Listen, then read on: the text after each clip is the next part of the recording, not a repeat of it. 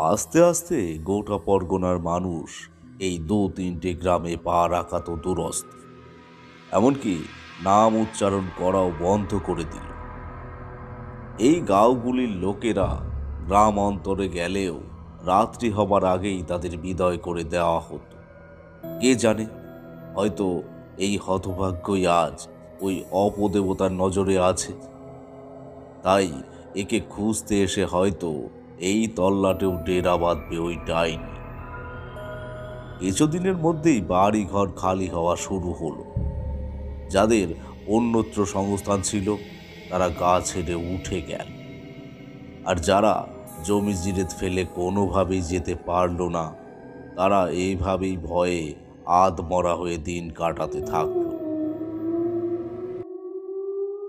গোটা পল্লীর যখন এই অবস্থা যখন প্রতি হপ্তায় হপ্তায় প্রায় গোটা দু তিনেক করে পরিবার পালিয়ে যাচ্ছে, না হয় আপায়ের হাতে অপঘাতে মারা পড়ছে, ঠিক সেই সময়টাতেই আমার নিয়তি আমাকে হাত ছানি দিয়ে ডেকে নিয়েছিল এই বদ্ধভূমিতে। শারদীয়া দুর্গাপূজার হপ্তা দুয়েক পরে আসানসোলের এক স্বেচ্ছাসেবী সংস্থা পুরুলিয়ার বিভিন্ন গ্রামে মুলুকে বিনি পয়সায় চিকিৎসা করাতো দুস্থ গরিব মানুষদের। সেই সংস্থার বাধা ধরা ডাক্তার ছিলাম আমরা চারজন। রামদয়াল মুখুজ্জে ছিল অর্থোপেডি, অর্থাৎ হাড়ের ডাক্তার, আর তার বসত বাটি ছিল শ্যামবাজার ইয়ং বেঙ্গলের স্বদেশি কাপড়ের দোকান পেরিয়ে, ট্রাম গাড়িতে করে একটু দূরে বেল গেছে নামের একটা জায়গায়। সাধন মুখুজ্জে ছিল এই রামদয়ালের খুঁড়তুতো না জ্যাঠতুতো ভাই। সে ছিল দন্ত বিশেষজ্ঞ।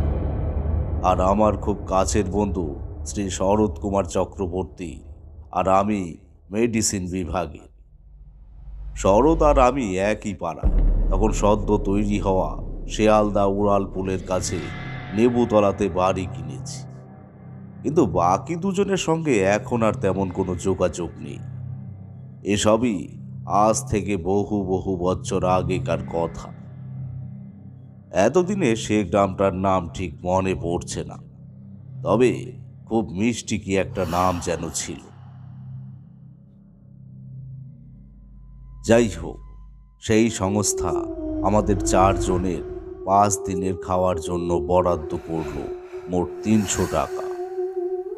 আজকে বসে এই টাকার অঙ্কটা শুনে হাসি পাবারই কথা কিন্তু অত বছর আগে সত্যি সত্যি এই টাকাতে জনা চারেক লোক হেসে খেলে সাত আট দিন কাটিয়ে দিতে পারত আমাদের বলা হল, ওই টাকা গ্রামের মোড়ল বিশ্বনাথকে মাসখানেক আগেই দেওয়া হয়ে গেছে। আমরা গেলে উনি আমাদের আহারের আয়োজন করবেন। আর থাকার জন্য বরাদ্দ হলো ওই গ্রামেরই রেল বাংলো। যদিও বাংলোটা ঠিক রেলের সম্পত্তি ছিল না। নিলামের মাধ্যমে তা কলকাতা শহরের কোনো বিত্তবান ব্যবসায়ীকে বিক্রয় করে দেওয়া হয়েছে।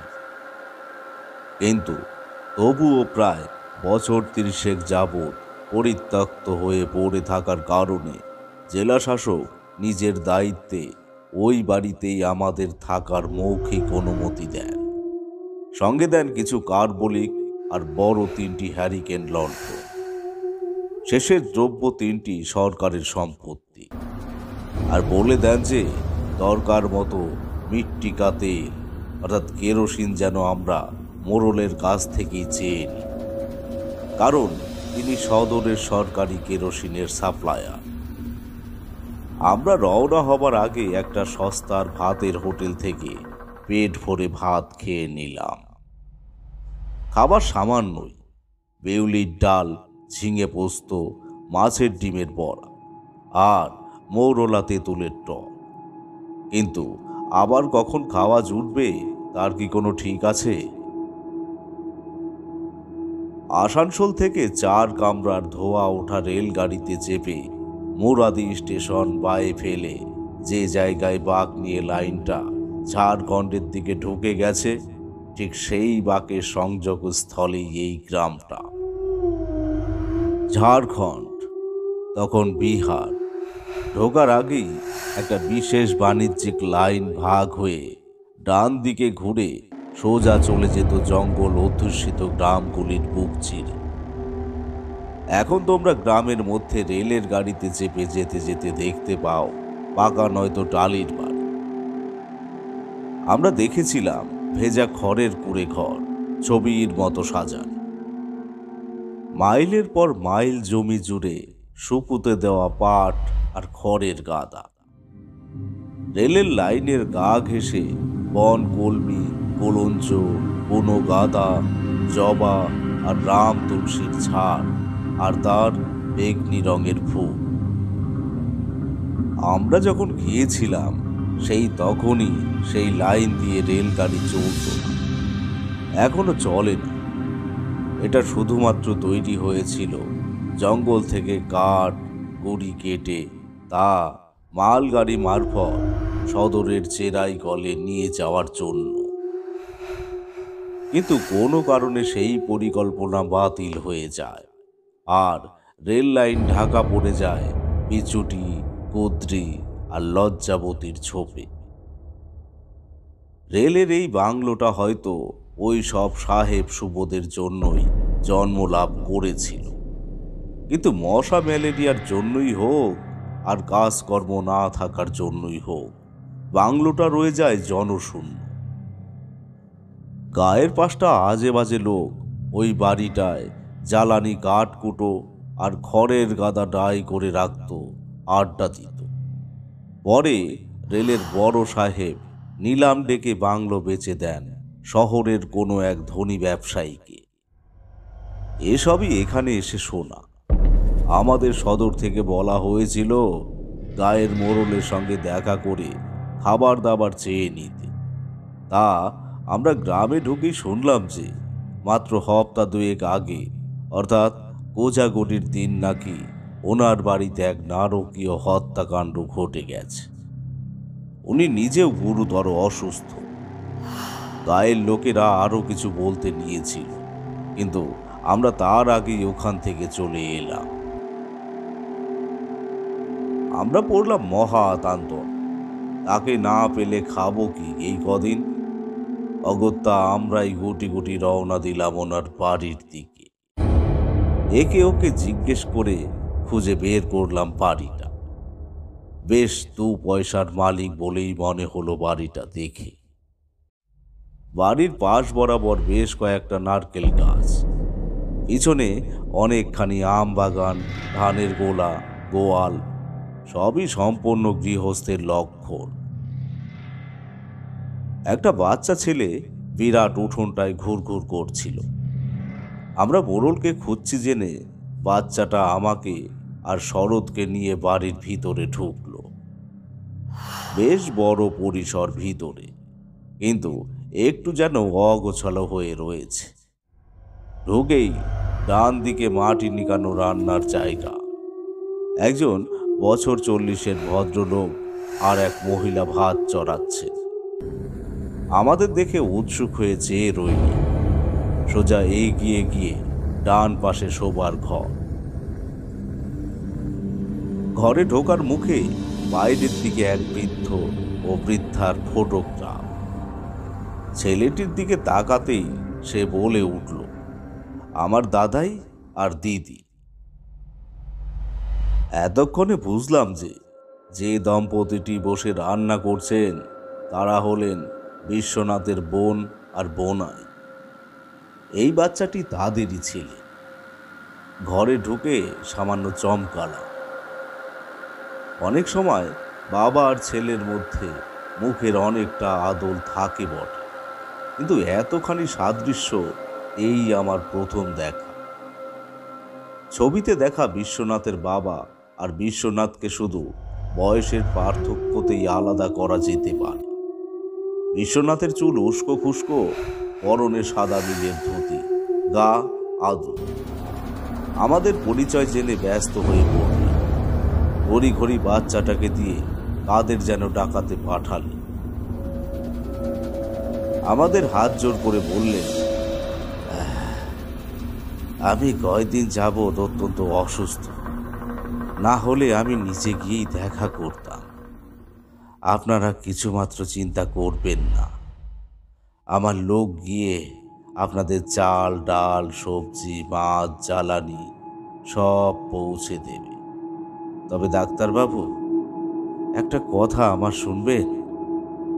আপনারা আমার বাড়িতেই থাকুন।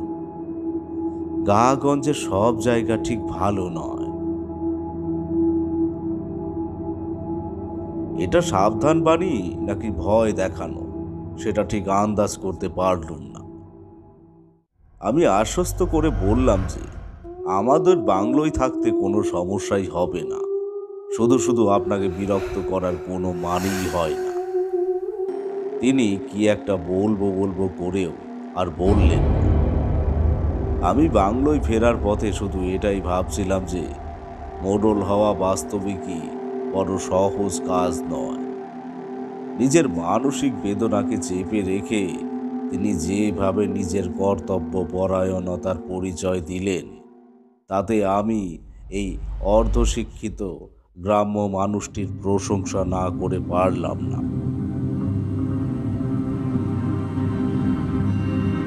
এক ঘড়িতে কাটায় কাটায় সকাল নটার সময় আমরা এসে দাঁড়ালাম বাংলোর সম্মুখে দোতলা বান সামনে বেশ অনেকটা বাগান করার মতো জায়গা। পিছনেও ঠিক ততটাই। সামনের জমিতে গাদা খানিক শুকনো কাটা গাছের ঝোপ। হয়তো বাড়ির মালিক কখনো গোলাপ বাগান করেছিল আর পিছনে বেশ কিছু দেবদারু, দুটো আম, কয়টা নিম গাছ আর মাথা উঁচু করে এক পেয়ে দানবের মতো দাঁড়িয়ে রয়েছে সাত সাতটা আদিমকালের শিমুল গাছ। বাড়িটার রং ফ্যাকাশে কালচে মতো, এমনকি ভেতরের দেয়ালগুলো অব্দি কিন্তু এটাও যে আর দশটা রেল বাংলোর মতোই উজ্জ্বল, লাল রঙের ছিল, তা ওই কালচে রঙের ফাঁক ফোকর দিয়ে উকি মারা ঝাপসা লাল রং দেখেই মালুম হয়। ফটকের বাইরে পাথরে খোদাই করে বাড়িটার নামও লেখা আছে, নবভুবন। আগে কি ছিল তা তো আমি জানি নে, কিন্তু এখনকার হতশ্রী অবস্থার সঙ্গে বাড়িটির নামটি একেবারেই বেখাপ্পা ও হাস্যকর। সে কথা থাক, আমরা মোটামুটি ঘণ্টা খানেকের মধ্যেই নিজেদের লট বহর একরকম গুছিয়ে ঠিক দশটায় বাড়ির চৌহদ্দির বাইরের রাস্তায় তাঁবু ফেলে বসেছি। এর মধ্যেই মুখে মুখে খবর ছড়িয়ে পড়েছে আর বেশ কিছু লোকজনও আসতে শুরু করেছে। এখানে আসা থেকে ক্যাম্প ফেলা অবধি এই দু তিন ঘন্টায় অনেকগুলি লোকের সঙ্গে আলাপ পরিচয় করেছি। আর প্রায় প্রতিবারই আড়ালে আবডালে অনেক উড়ো গুজব কানে এসে পৌঁছেছে। সব গল্পই এই বাংলোকে ঘিরে। আমরা যে পেশায় আছি, তাতে আমাদের বহুদিন যাবৎ অনেক আগানে বাগানে, অনেক আঘাটা জায়গায় রাত কাটাতে হয়েছে। অনেক কিসিমের লোকের সাথে মেলামেশাও করতে হয়েছে। তাই এই সব গল্পগুলোকে শুনেও তত বেশি বিচলিত আমরা হইনি। কিন্তু এবার গ্রামের মানুষজন যা শুরু করল তাতে আমি অন্তত সত্যি ভয় পেয়ে গেলাম। তাদের ভাঙা ভাঙা টুকরো টুকরো কথাগুলো আজ এতদিন পরে আমার পক্ষে গুছিয়ে লেখা সম্ভব নয়। কিন্তু তাদের সবার কথাতেই একটাই আরতি, আমরা যেন তাদের মধ্যে কারও বাড়িতে গিয়ে রাত্রি বাস করি।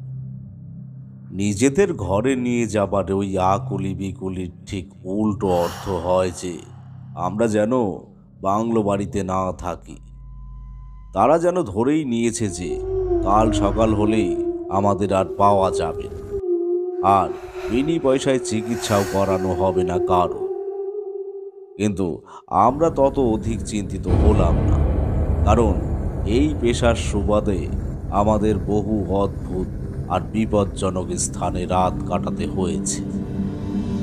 বাড়ির লোক প্রথম প্রথম খুব উদ্বেগ প্রকাশ করত।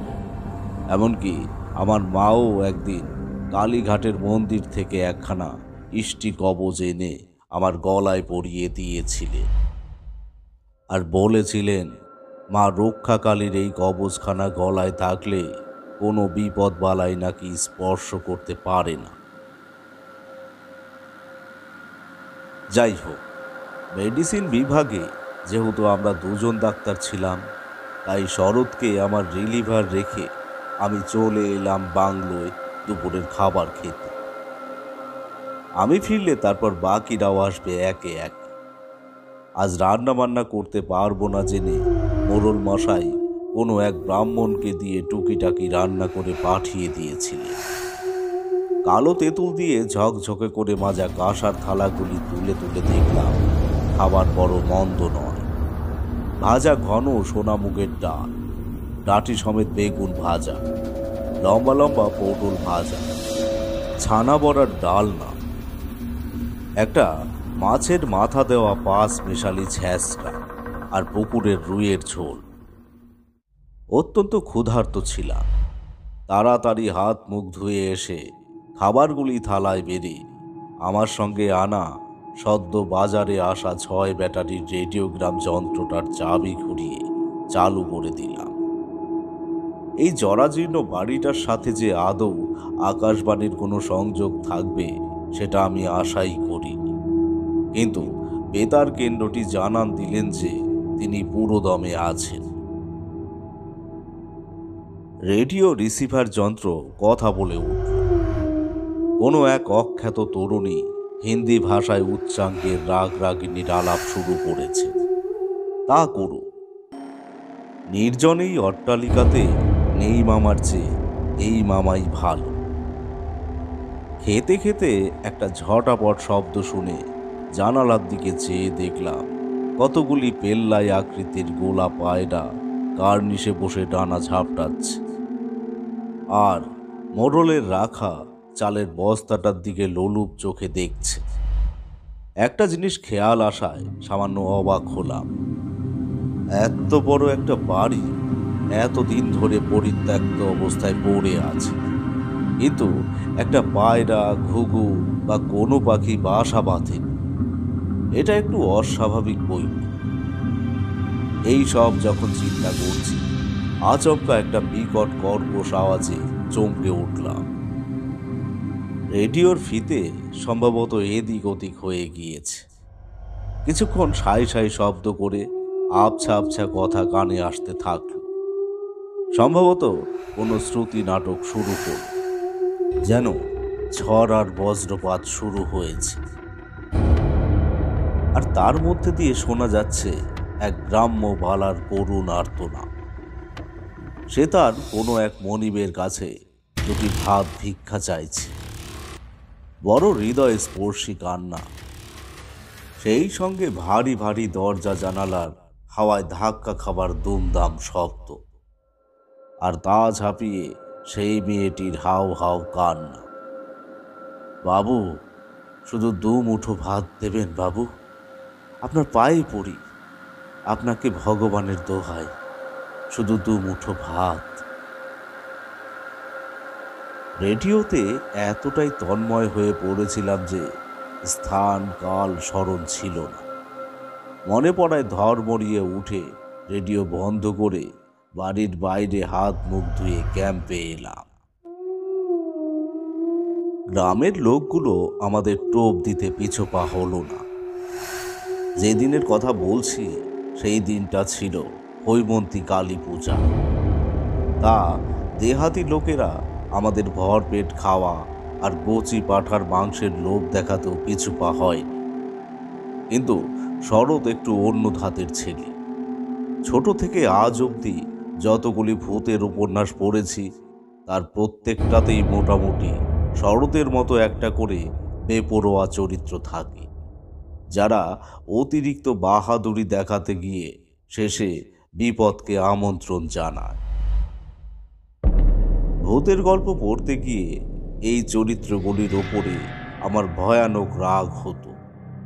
কিন্তু এবার আমি বাস্তবেই এই রকম একটা চরিত্রের পাল্লায় পড়ে গেলাম এমনিতেই খুব বুদ্ধিমান আর ঠান্ডা মাথার ছেলে কিন্তু বড্ড বেশি সাহস আর জেদ সে এসব কথায় বিন্দু মাত্র কান না দিয়ে বরং হো হো করে হেসেই উড়িয়ে দিল বলল "হো হো হো হো হো হো। বুঝলে না ভায়া এ হলো গ্রামের নিজস্ব রাজনীতি আমরা ডাক্তারেরা যদি কারও বাড়িতে আতিথ্য স্বীকার করি, তবে এদের দেশওয়ালি বেরাদরের কাছে কদর বাড়ে মান্যিকন্যি বোঝায়। আর সেই সঙ্গে কালী পুজোর চার চারটে বামুন ভোজনের পণ্ডিটাও তো খাও। কিন্তু ওরা তো আর ছোট মুখুজ্জের খাওয়ার বহর জানে না ভায়া। দশ দিনের আলো চাল একদিনেই সাবড়ে দেবে।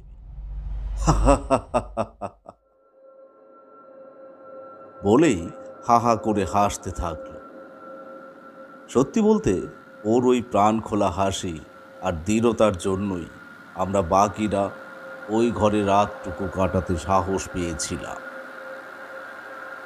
যাই হোক, রোগী বড় কম ছিল না গায়ে। ছোট মুখুজ্জের দাঁতের রুগীর দেখা না মিললেও বাকিদের রুগী মিলিয়ে কিছু না হলেও জনা তিরিশেক তো হবেই।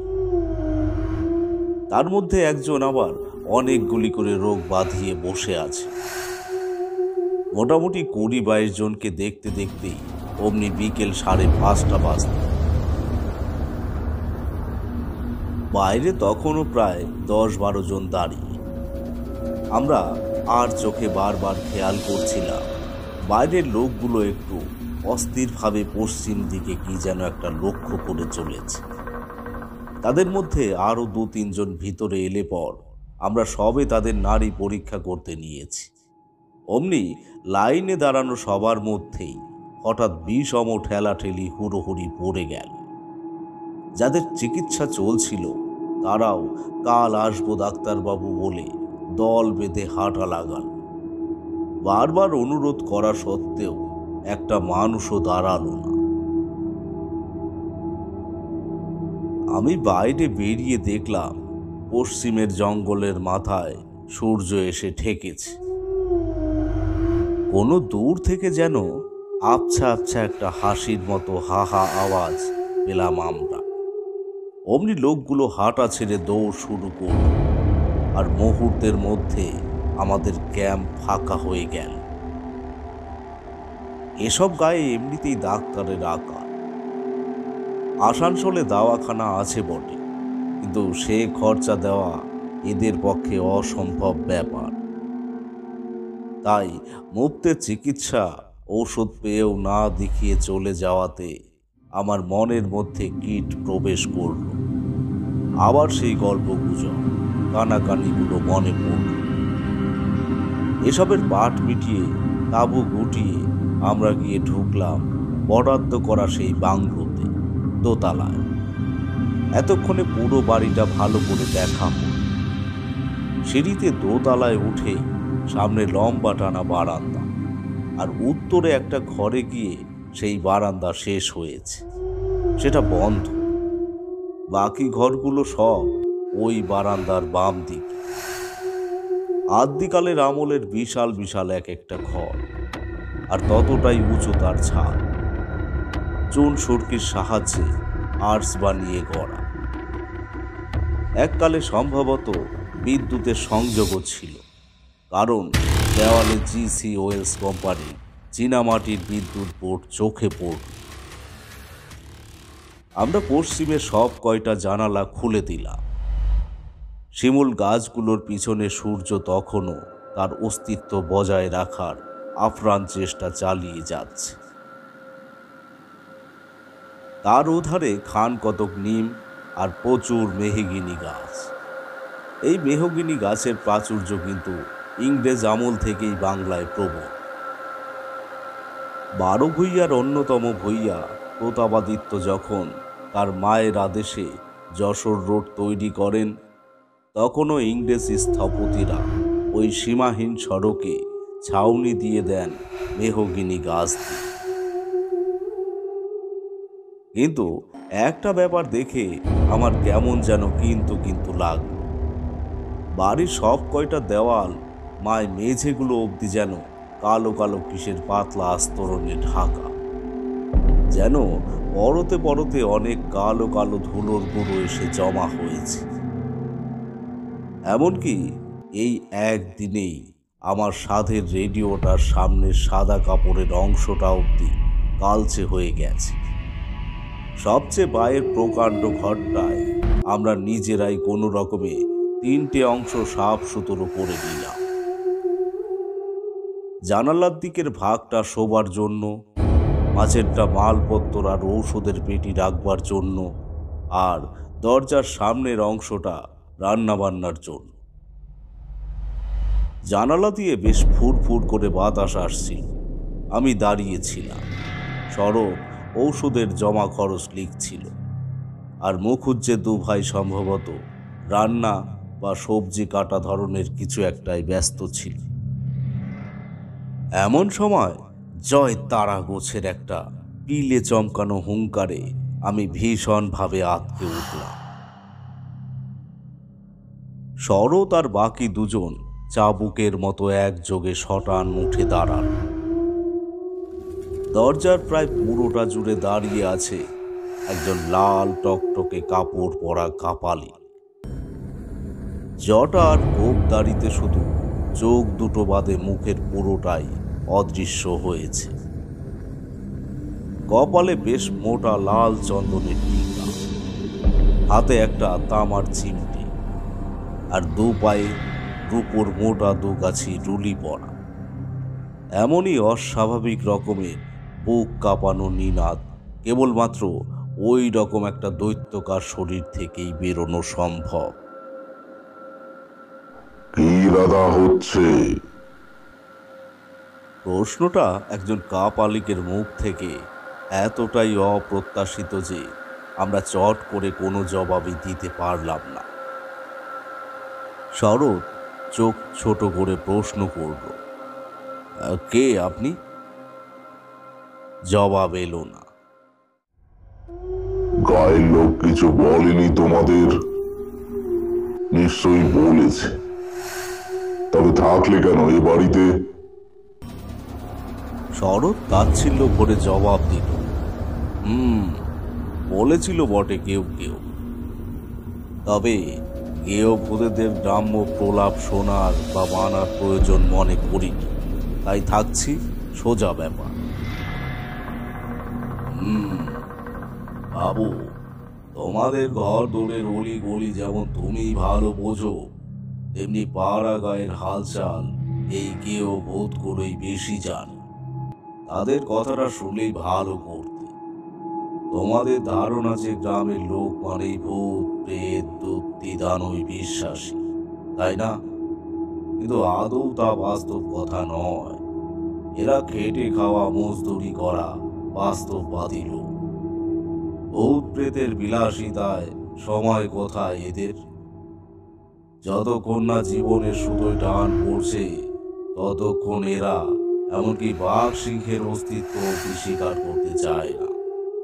এদের অবজ্ঞা করে নিজেকে ঠকিও না। শরৎ এবার চিবিয়ে চিবিয়ে উচ্চারণ করল, আমি নিজের চোখে না দেখে কেবলমাত্র কানে শুনে নিজের বাপ ঠাকুরদার কথাও বিশ্বাস করিনি। বোঝা গেল, কাপালিকের কোনো ভাবান্তর দেখা গেল না। তেমনি মৃদু হাসি মুখে প্রশ্ন করল,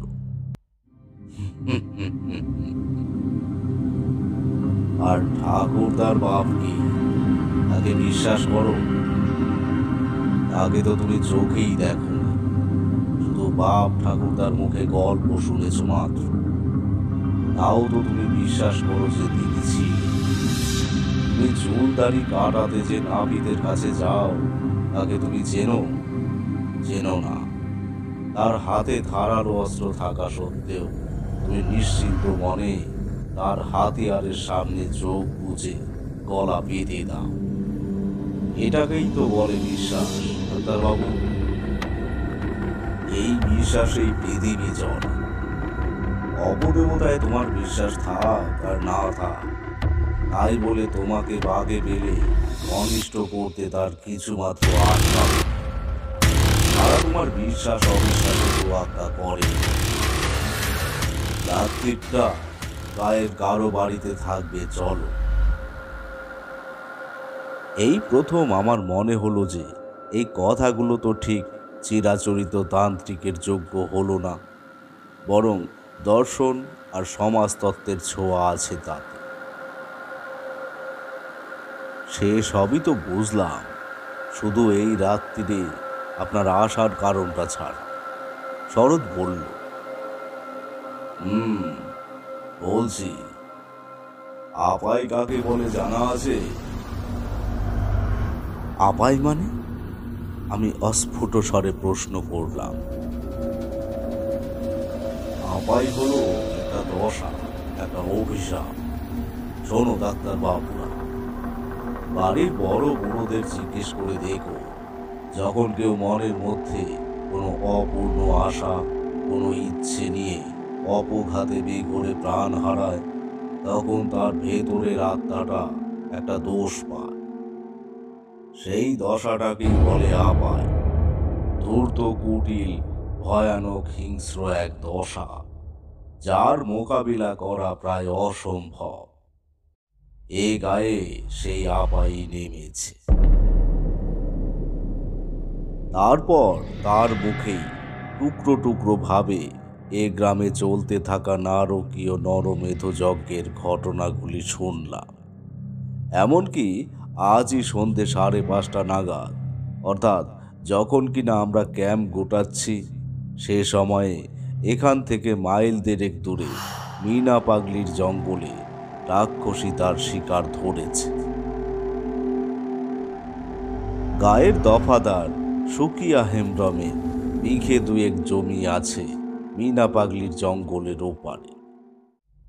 কাল থেকে তার জমিতে লোক খাটবে তার আগে মেয়েকে নিয়ে বাধ্য হয়ে বীজতলা তদারক করতে গেছিল সে। সন্ধে নামার আগেই ঘড়ি ঘড়ি বাড়ির দিকে রওনা হয়েছিল তারা। কিন্তু জঙ্গলের অর্ধেক পেরোতে না পেরোতেই কেমন করে জানি আধার নেমে যায় ঝুপ করে। হনহন করে চলতে চলতে যখন বড় বিলটার পাশ অবধি পৌঁছেছে, ঠিক তখনই একটা ক্যাচ ক্যাচ আওয়াজ পেয়ে থমকে দাঁড়াল দুজন।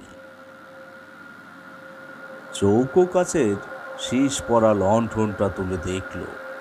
বিলের উল্টো দিকের ঝোপের থেকে দু তিনটে সরু বাঁশ নুইয়ে নেমে আসছে। সুকিয়া, ওর বারো বছরের মেয়েটার হাত শক্ত করেই ধরে রইল। একটু সময় পরে বাঁশ জঙ্গলের মধ্যে তুমুল হুটোবাটি শুরু হয়ে গেল। আর হঠাৎ ওঠা দমকা হাওয়া যেন ফু দিয়ে লণ্ঠনটা নিভিয়ে দিল। সুকিয়া তাড়াতাড়ি মাটিতে বাতিটা রেখে যখন দেশলাই ঠুকছে একবার মনে হলো একটা গোঙানি আর দাঁত কিরমির করার মতো শব্দ কানে এলো মুহূর্তের জন্য। মরিয়া হয়ে ঝটপট বাতিটা জ্বালিয়ে পিছন ঘুরতেই দেখা গেল তার মেয়েটা বিলের দিকে তাকিয়ে শান্ত মুখে কি যেন দেখছে। সুকিয়া আর কথা না বাড়িয়ে মেয়ের হাত ধরে সবেমাত্র এগোতে যাবে। এমন সময় কানে এলো বিলের জলের বুড়বুড়ি ওঠার শব্দ। লণ্ঠনটা একটু উঁচিয়ে ধরতেই তার গায়ে কাঁটা দিয়ে উঠল। জলের উপরে একটা কিশোরীর কাচের চুরি পরা হাত উঠে আছে পাড়ের কাছে। সুকিয়া মারাত্মক ভয় পেলেও দফাদার হিসেবে নিজের দায়িত্ব এড়িয়ে যেতে পারল না। বা হাতে নিজের মেয়ের হাত চেপে ধরে ঢালু কাদা মাখা পার বেয়ে একটুখানি নেমে ডান হাত দিয়ে আঁকড়ে ধরল সেই উঁচিয়ে থাকা হাতটা। আর বলিষ্ঠ হাতে এক হ্যাচকা টান মেরে শরীরটাকে তুলে আনলো পারে বাতিটাকে মাটি থেকে তুলে এগিয়ে আনলো মৃতদেহের ওপরে। কোমরের নিচ থেকে আত খাওয়া দেহটার মুখের দিকে তাকিয়ে একেবারে পাথর হয়ে রইল সুকিয়া সামনে পড়ে রয়েছে তার নিজের মেয়েটার আত খাওয়া দেহ। সুকিয়া আস্তে আস্তে মুঠো করা হাতটা ঝটকা মেরে ছাড়িয়ে নিয়ে ছদ্মবেশী মানুষ খাকির মুখের দিকে তাকিয়ে ভাঙা কান্না ভেজা গলায় চিৎকার করে উঠল কে তুই রাক্ষসী? কে তুই? আমার মেয়ে সেজে তুই আমার এত বড় সর্বনাশ করলি ডাইনি। আমার মেয়েটা তোর কি ক্ষতি করেছিল? হায় ঈশ্বর! মেয়েটা খিলখিল করে হেসে উঠল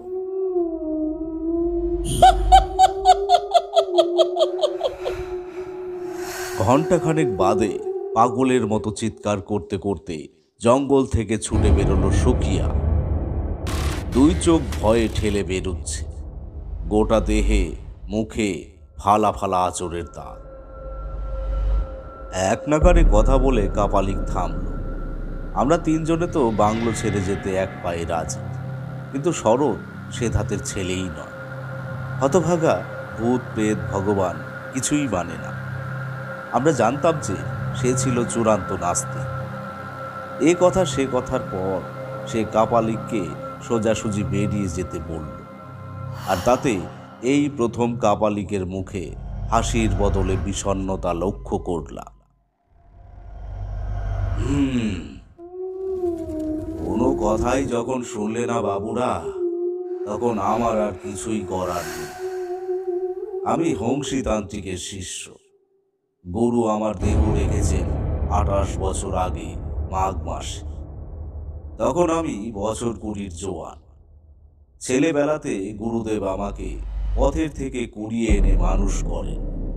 সেই থেকে আশ্রমেই আমার ডেরা যে কাউকে ভুবনতান্ত্রিকের ডেরা বললেই দেখিয়ে দেবে। চলি ডাক্তার বাবুরা। তান্ত্রিক চলে গেল। শরৎ তাকে নিচে নামিয়ে কপাট এঁটে দিয়ে ওপরে এলো। যতই হালকা করার চেষ্টা করুক সে, আমার মনের খচ খচানিটা কিন্তু নির্মূল হলো না। রাত্রে ঘুমোতে যাওয়ার আগে রান্নার জায়গাটায় একটা হাড়ি কেন জ্বালিয়ে রেখেছিলাম। বাকি দুটি ছিল নেভানো। এটা ওটা ভাবতে ভাবতে সারাদিনের খাটাখাটুনিতে কখন যে চোখ জুড়িয়ে এসেছে বুঝতেও পারিনি। ঘুম ভাঙল খুব অস্পষ্ট একটা আওয়াজে। অনেক দূর দিয়ে নারকেল বা তাল পাতা টেনে নিয়ে গেলে যেমন খসখস হয়, অনেকটা সেই ধরনের। শরীরটা শিউরে ওঠার সঙ্গে সঙ্গেই উপলব্ধি করলাম যে, আমাদের শিয়রের গাছে যে লম্বা মেজের অংশটা আছে সেখান দিয়ে কেউ হেঁটে বেড়াচ্ছে। এমুড়ো থেকে ওমুড়ো মাঝে স্তূপ করা ঔষধের পেটি, বস্তা আর তাঁবুটা ঢিবি করে রাখা আছে। কিন্তু তাতে তার হাঁটা কোনোভাবেই বাধা পাচ্ছে না। আমি ভীষণ আতঙ্কে তাকাবার বা পাশ ঘোরার সাহসটুকুও হারিয়ে ফেললাম। স্নায়ু বিকল হয়ে আসতে শুরু করল। বাকি তিনজনেরই পালা করে নাক ডাকার গর্জন আসছে। অর্থাৎ আমি একাই জেগে। একটা হিমেল স্রোত আমার শির বেয়ে নেমে গেল। আমি সবে মাত্র পাশ ঘুরে শরৎকে ডাকতে যাব। এমন সময় কে যেন বরফ শীতল হাতে আমার মুখ চেপে ধরল। আমি বোবার মতো গো গো করতে থাকলাম, কিন্তু এক ফোঁটা শব্দ বেরোলো না আমার গলা থেকে। বড় মুহূর্তেই আমাকে একটা হ্যাচকা টান দিয়ে কে যেন টেনে নিয়ে চলল বাইরের দিকে। আমি আতঙ্কে মরিয়া হয়ে চিৎকার করার চেষ্টা করলাম। কিন্তু সেই শীতল নখওয়ালা হাত আমার কণ্ঠস্বর রুদ্ধ করে রাখল। সেই অদেখা অশরীরই আমাকে হিস্টে হিস্টে নিয়ে চলল বাইরের তার ক্ষুরোধার নখে আমার পিঠ ফালা ফালা হয়ে যাচ্ছে। মাটিতে পা আছাড়ি পিছাড়ি খেতে খেতে সব হয়ে দেখলাম আমি এসে পড়েছি বাইরের পথের ধারের জঙ্গলের সামনে। কানে আসছে মেয়েলি কণ্ঠের চাপা হিংস্র গড়গড় আওয়াজ। আচমকা আমাকে আমার পা জোড়াকে একটি মাত্র হাতের মুঠিতে ধরে সেই অমিত শক্তিধর পেতনি উল্টো করে তুলে ধরলো আর সবেগে ঝাঁকাতে শুরু করল। এতখানি রাস্তা পার হয়েও এখনও যখন সে আমাকে প্রাণে মারেনি, তখন আমার মনে একটু হলেও সাহস ফিরে আসছিল। যদিও এর কারণটা ছিল আমার অজানা। কিন্তু এই উল্টো করে ঝুলিয়ে যেই মুহূর্তেই ঝাঁকুনি দিতে লাগল সে সেই মুহূর্তেই তার কুটিল অভিসন্ধি আমার মাথায় বিদ্যুতের মতো খেলে গেল। আর আমি আতঙ্কে কাঠ হয়ে গেলাম। ইষ্টি কবচ। এই শয়তানি রাক্ষসী আমার গলার কবচ খুলে পড়ার অপেক্ষা করছে। আমি প্রাণপণ চেষ্টা করতে লাগলাম যাতে উল্টো হয়ে থাকা গলার ফাঁক দিয়ে কবচটা পড়ে না যায়। কিন্তু অসহায়ভাবে দেখলাম আমার অসার হয়ে আসা শরীরটা থেকে সেই কবচখানা ঠিক চুপ করে মাটিতে পড়ে গেল। সঙ্গে সঙ্গে সেই মানুষ খাকি আমাকে সজোরে ছুঁড়ে ফেলে দিল পাশের ঝোপের মধ্যে। কাপা কাপা হাতে ঝোপের পাতাগুলি সরিয়ে যা চোখে পড়ল, তাতে আমার প্রাণ উড়ে গেল। হাত দশেক দূরে দাঁড়িয়ে রয়েছে এক ধোয়াটে মেয়ে মানুষের মতো বিশাল মূর্তি। তার হাতের আগায় লম্বা লম্বা ধারালো সাদানো ছুচালো দাঁতগুলি মুখ ফিরে বেরিয়ে এসেছে। আমি প্রচণ্ড ভয়ের মধ্যেও প্রাণের তাগিদে কাঁপতে কাঁপতে উঠে দাঁড়িয়ে দৌড়বার চেষ্টা করতে যেতেই কান ফাটানো গর্জন করে আমাকে লক্ষ্য করে লাভ দিল সেই মূর্তিমান জম। আমি চোখ মুদ্রিত করে মাটিতে আছাড় খেয়ে পড়ে গিয়ে অপেক্ষা করতে লাগলাম এক ভয়ঙ্কর নৃশংস মৃত্যুর। কিন্তু তার মধ্যে অনুভব করলাম যে সেই রাক্ষসী কোনোভাবে লক্ষ্যভ্রষ্ট হয়েছে। আমাকে সে এখনও ধরতে পারেনি। চোখ খোলার মতো শক্তিও আমার আর অবশিষ্ট ছিল না। কিন্তু অতি ক্লেশে আমি চোখ মেলে চাইলাম এবং ভীষণ ভয়ে পুনর্বার আমার হৃদযন্ত্র স্তব্ধ হয়ে যাবার উপক্রম হলো। সেই ভয়াল দর্শন মূর্তি আমার মাটিতে পড়ে থাকা শরীরটা থেকে মাত্র হাত চারেক উপরেই শূন্যে ঝুলছে। সে চাইছে হাত বাড়িয়ে আমার ওপর তীব্র আক্রোশে ঝাঁপিয়ে পড়তে। কিন্তু কোনো অজানা কারণে তার সেই চেষ্টা বিফল হয়ে চলেছে। হঠাৎ একটা ভীষণ বজ্রপাতের নিনাদের মতো শব্দ কানে প্রবেশ করল।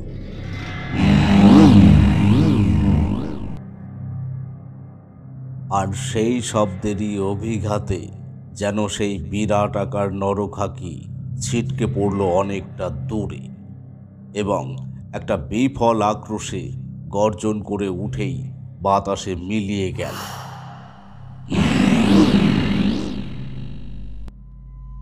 সাক্ষাৎ ভয়াবহ মরণের থেকে সাময়িকভাবে রক্ষা পেয়ে আমি হাউ হাউ করে কেঁদে উঠলাম। আর তখনই আমার নজরে এলো সামনের মাটির পথের ওপরে দাঁড়িয়ে রয়েছে একখানা ধোয়া ধোয়া ছায়ার দীর্ঘকায় মূর্তি। আমি ভয়ার্ত স্বরে রুদ্ধ কণ্ঠে কইলাম "আহ, কে? কে ওখানে?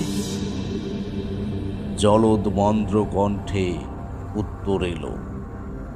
ব্রাহ্মণ, নাম কালীপদ মুখুজ্জে। নিবাস রায় দিঘরা গা মানুষের কণ্ঠ শুনে আমি টলমল পায়ে উঠে দাঁড়িয়ে তার সামনে গিয়ে দাঁড়ালাম আর এতক্ষণে তাকে বেশ উত্তম রূপে লক্ষ্য করলাম। পুরুষদের মধ্যে এমন চেহারা দুর্লভ। পরনে শ্বেত শুভ্র ধুতি আর কামিজ। দীর্ঘতায় আন্দাজ ছয় হাতের ওপরে। মেয়েধীন মুখের বজ্রের তুল্য কাঠিন্য। কিন্তু চোখ দুটিতে শিশুর ন্যায় সরলতা আর নিরহংকার দুটি মাখান। একবার তাকিয়ে দেখলেই দেখতে ইচ্ছে করে।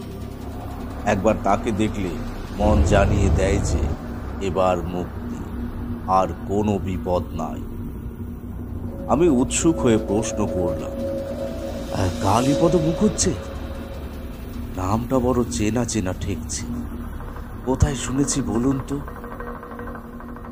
কালীপদ এবারে প্রাণ খোলা হাসি হেসে উঠল আর বললে শোনো পাগলের কথা আমি কি তেমন তেমন কেউ নাকি যে চিনতে পারবে? বহুকাল আগে এই গায়ে আমি গুরুর কাছে সাধনা করতাম। এখন নানান পাকে পড়ে সব বিদ্যেই যেতে বসেছে। তাই দুই একটা খুঁতকুড়ো যা রয়েছে, সেগুলোই ঝালিয়ে নিতে গিয়েছিলাম উত্তরের এক পাহাড়ে। তা সেইখানেই আমার গুরু ভাইয়ের বার্তা পেলাম। এই পরগনায় নাকি মহাসর্বনাশ উপস্থিত হয়েছে। আমি আর রইতে পারলাম না। এই গা আমার গুরুর গা। এই পরগনায় আমার বিদ্যে লাভ। সাধনা সম্পন্ন হবার পরে গুরুদেব আমাকে কয়েছিলেন, এই গায়ে যেন কখনো না আসে।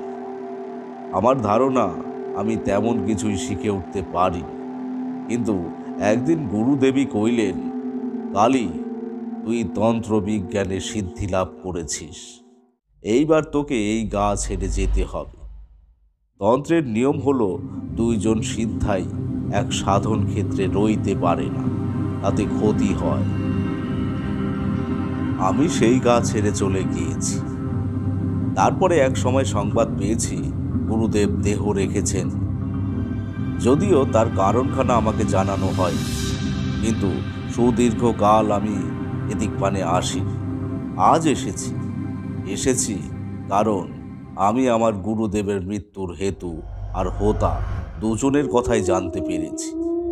গুরু দক্ষিণা শোধ করার সময় এসেছে। আমি কালীগুণিনের দিকে হা করে চেয়ে রইল। কিয়ৎক্ষণ পূর্বেই দেখা সেই মায়াবী দৃষ্টিতে এখনও বিদ্যুতের চাবুক ঝলসাচ্ছে। কালী আমার হাত ধরে অবিচলিত কণ্ঠে কইল, আমি বাঙালি, তুমিও তাই।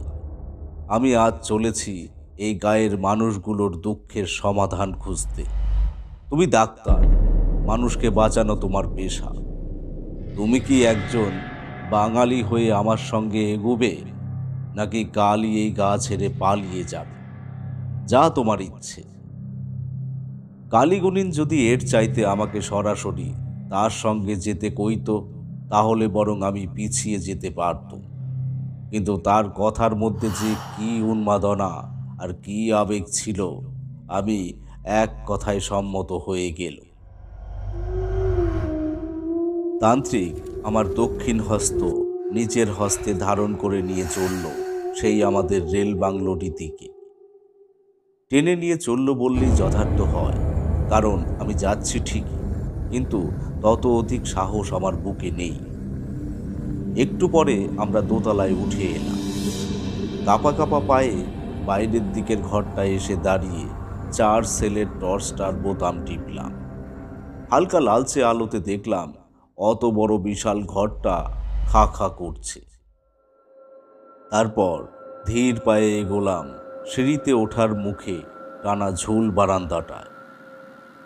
আমার শরীর রীতিমতো ভারী হয়ে আছে, বুঝতে পারছি।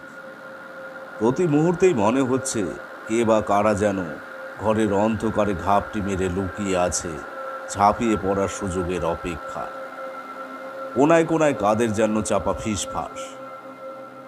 বারান্দায় বেরোনো মাত্র এক ঝলক ঠান্ডা কনকনে হাওয়া মুখে চোখে আশ্রে পড়ল বাইরের গাছপালা চাঁদের আলোর বন্যায় ভেসে যাচ্ছে, আর তারই সামান্য দাক্ষিণে বারান্দাটুকুও আবছা আলোয় ভাসছে সঙ্গে এক টানা ঝিঝি পোকার ঝিল্লি রব কালি আমার হাত ধরে টেনে নিয়ে চলল বারান্দার শেষে সেই উত্তরে ঘরটার দিকে। দরজার সামনে পৌঁছে টর্চ বাতির আলো ফেললাম তালার উপরে। ঘোর অন্ধকারের মধ্যে টর্চের আলো জ্বাললে বাকি চারপাশ যেন আরও ঘুট ঘুরতে মনে হয়। বাকি কিচ্ছু দেখা যায় না। কিন্তু আর কোনো দিকে দেখবার প্রয়োজনও ছিল না। খয়াটে আলোতে দেখতে পেলাম দরজার তালা খোলা। কিন্তু এমনভাবে ঝোলানো যে দূর থেকে দেখলে বন্ধই মনে হয়। পেতলের সিংহমার্কা হাতলে সামান্য চাপ দিতেই ক্যাচ শব্দে পাল্লা খুলে গেল। আমরা ভিতরে পা দিলাম। আর সাথে সাথেই মনে হলো যে ঘরটা থেকে যেন কয়েক পরত আলো কমে গেল। ঘাড় ঘুরিয়ে দেখলাম বারান্দা অন্ধকার। কিছুমাত্র জ্যোৎস্না নেই। তবে হয়তো মেঘে চাঁদ ঢাকা পড়েছে। এমন সময়ে ভেসে এলো একটা ক্ষীণ ঢাকের আওয়াজ এবং তা শুনে এবার আমার নিঃশ্বাস অবধি স্তব্ধ হয়ে এলো।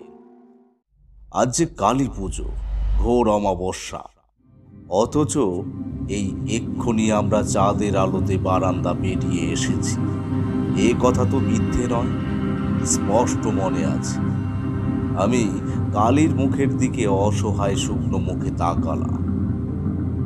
সে আমার হাতে আলতো চাপ দিয়ে বলল, বোকা, বাইরের জগতের নিয়ম, বিধি, বিজ্ঞান কিছুই এখানে কাজ করে না। এ হলো প্রেত লোকের রাজ্য। ওসব নিয়ে চিন্তা করো না। আর হ্যাঁ একদম ভয় পাবে না কিন্তু। ওপরে তাকাও। ওর হাতের আলোটা দেয়ালের এক জায়গাতে গিয়ে স্থির হয়েছিল। আমি সেদিকে তাকানো মাত্রই আটকে উঠলাম। জানালার উপরে কলুঙ্গির খোপটা থেকে উকি দিচ্ছে একটা কাটা ছাগলের মাথা। ধবধবে সাদালো তার সবুজ সবুজ চোখ দুটো টর্চের জ্যোতিতে ছিকিয়ে উঠেছে। একটা শিং ভাঙা আর কাটা গলা থেকে অবিরাম রক্তের ধারা দেওয়াল বেয়ে নেমে নিচের মেঝেতে জমা সাত পুরো ধুলোর উপরে চাপ বেঁধে আছে। দোকানে বাজারে ছাগলের মাথা ঝুলতে আগেও অনেক দেখেছি, কিন্তু এই অপদেবতার নরককুণ্ডে দাঁড়িয়ে সেই একই জিনিসকে দেখে আমার হাড়ে হাড়ে কাঁপুনি শুরু হলো। ভয়ে চোখ বন্ধ করে ফেলেছিলাম, কিন্তু চোখ খুলে দেখলাম কোথাও কিচ্ছুটি নেই। কলঙ্গি চাপা পড়েছে মাকড়সার ফাঁদে। এতক্ষণ আমরা দরজার দিকের দেওয়ালটাকে লক্ষ্যই করিনি।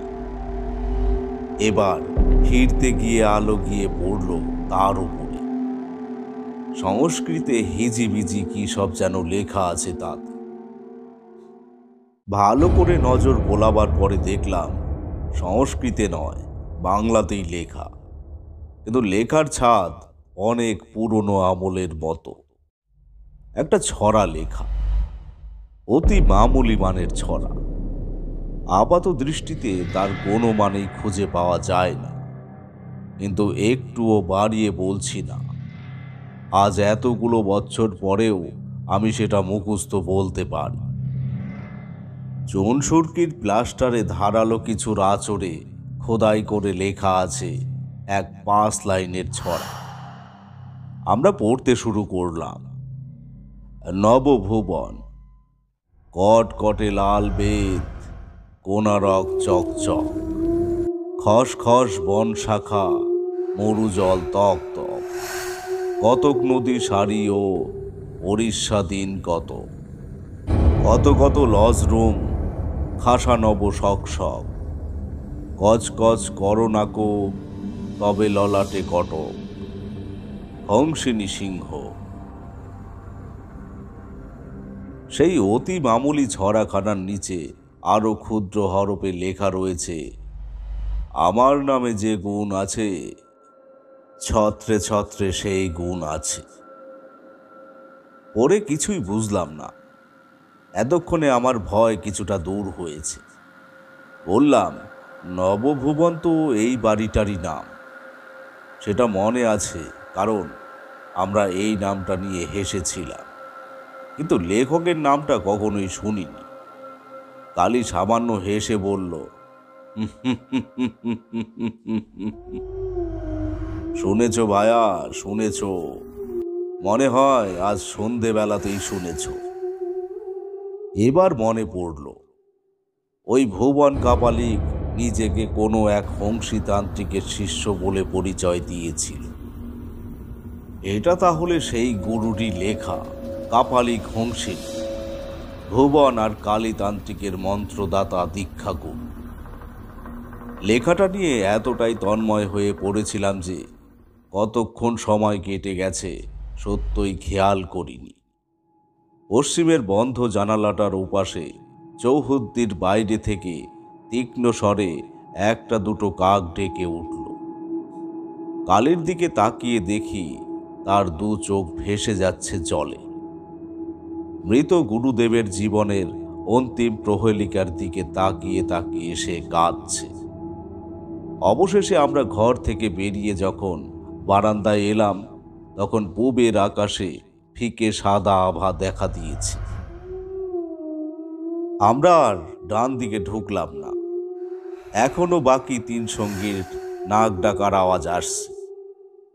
একতলার দরজার খিল খুলে বেরিয়ে এলাম। দুপাশের শুকনো গোলাপ কাটার ঝোপ পার করে রাস্তায় নামলাম। একটা দুটো করে পাখি জাগতে শুরু করেছে। সকালের ভেজা ভেজা পাতাগুলোর উপরে কাজ পোকাগুলি লাফিয়ে বেড়াচ্ছে। কালি রেল বাংলোর পিছনের সেই আদিম ঝোপ ঢাকা রেল লাইন ধরে এগোতে শুরু করল। আমি প্রথম থেকে সেই যে তার হাত ধরেছিলাম, তার ছাড়িনি। এমনকি সোয়া ঘণ্টা হেঁটে যখন বটতলায় পৌঁছলাম, তখনও সেই হাত ধরা। বটতলার সবেধন চায়ের দোকানে তখন আজ পড়েছে। মাটির দেয়াল আর তাল পাতার বাতা দেওয়া দোকানে জনা পাঁচেক ছয়েক লোক চা খাবার জন্য বসে আছে। আমাদের দেখে তাদের প্রত্যেকেই খুব ব্যস্ত হয়ে এগিয়ে এলো। সাত তাড়াতাড়ি গামছা টামছা দিয়ে কাঁঠাল গাছের গুড়িটা ঝেড়ে ঝুড়ে দিয়ে একজন হাঁক দিল, ও মহিম, ডাক্তারবাবুরা এছেন হো। চা পানি দাও তাড়াতাড়ি। গরুর দুধের চা আর নারকেল কোড়া দিয়ে মুড়ি মাখা পেলাম। দোকানদার অত্যন্ত প্রবীণ মানুষ, যিনি হাঁক দিলেন তিনিও তাই। আমরা বাদে বাকিরা সবাই প্রায় সত্তর, পঁচাত্তরের ঘরে। কিন্তু কারোর শরীরেই কোনো দুর্বলতার চিহ্ন নেই। এরা সারা রাত্রির দল বেঁধে, কালী পুজো দেখে, এখন দল বেঁধেই বাড়ি ফিরছিল। দোকানদার কিন্তু চা দিয়ে চলে গেল না। কালীর মুখের দিকে তাকিয়ে রইল। কালী বার তিনেক তার মুখের দিকে তাকিয়েও ইতস্তত চোখ ফিরিয়ে এদিক ওদিক দেখতে লাগল। কিন্তু মহিম দোকানি চোখ সরালো না। কালী বার দুয়েক বুড়ো আঙুল খুঁটে সোজাসুজি দোকানির দিকে তাকিয়ে প্রশ্ন করল, আপনি পুরোটা জানেন? বিলক্ষণ জানেন। আমাকে বলবেন? মহিম সামান্য ভুরু কুঞ্চিত করে প্রশ্ন করল, ডাক্তারবাবুদের আমি কালকেই দেখেছি, কিন্তু তার মাঝে আপনি ছিলেন না। আপনার পরিচয়? ব্রাহ্মণ, নাম কালীপদ মুখুজ্জে। নিবাস সদরবনের প্রায় দিঘরা গা। আপনারা আমার গুরুদেব অঘরী হংসী তান্ত্রিককে তো বেশ চিনতেন। মহিমের চোখে তান্ত্রিকের নাম শোনা মাত্রই যুগোৎপদ সম্ভ্রম আর বিস্ময় ফুটে উঠল। সে দোকানে বসে থাকা নাতির দিকে আর চোখে চেয়ে বলল ও চুলাটি উস্কায় কি দুধ চড়াই দিব? এরপর কথাগুলো যদিও পুরোটাই দেহাতি ভাষায় হয়েছিল, কিন্তু আমি সেগুলো বাংলাতেই লিখব। দোকানি উল্টো দিকের পেয়ারা ডালের বেঞ্চিটাতে বসল। একটু কি ভেবে নিয়ে শান্ত গলাতে বলতে শুরু করল, আগে আমরা গাগঞ্জের মানুষ বাবু, কত কষ্ট, কত যাতনা সয়ে আমাদের বেঁচে থাকতে হয়। তা তোমরা চিন্তাও করতে পারবে না। সহজে আমরা কষ্ট দুঃখ পাইনি। কিন্তু কষ্ট কখন হয় জানো বাবু? যখন ভালো মানুষে খারাপ ব্যবহার করে, যখন খুব বিশ্বাসের খুব ভরসার মানুষটা দানু হয়ে গিয়ে গাকে গা উজাড় করে দেয়। দানু? আমি অস্ফুট স্বরে বলে ফেললাম। আর সঙ্গে সঙ্গেই ডান উরুতে কালির একটা মক্ষম চিমটি টের পেলাম। চুপ করে গেলাম। দোকানি আবার বলতে শুরু করল, এখানে যে রেল বাংলোয় আপনারা উঠেছেন, সেখানে আজ থেকে বছর তিরিশেক আগে অবধি ছিল রেলের সম্পত্তি। ওই জঙ্গলের কাঠ কুটো কেটে রেলের গাড়িতে করে শহরে নিয়ে যেত সাহেবরা। তাদের থাকবার জন্যই তৈরি হয় ও বাড়িখানা। ততদিন আগেও গোটা গায়ে একমাত্র ওই বাড়িতেই বিজলি বাতি ছিল। সাহেবরা শেষ অবধি মশা, সাপ আর বিচে নিয়ে থাকতে রাজি হলো না। ও বাড়ি ফাঁকাই পড়ে থাকত। আস্তে আস্তে গোটা পরগনার মানুষ এই দু তিনটে গ্রামে পা রাখা তো দুরস্ত।